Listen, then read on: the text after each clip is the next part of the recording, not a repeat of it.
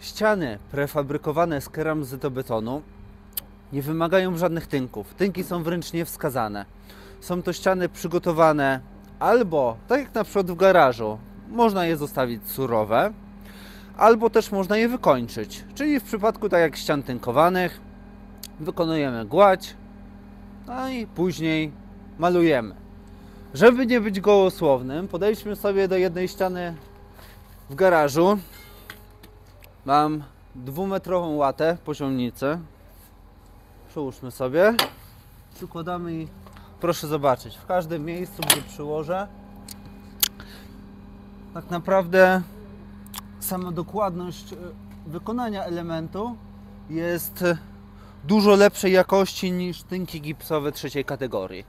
A tutaj akurat jest ściana, jest to ściana salonu, która za chwilę będzie uczestniczyła w montażu.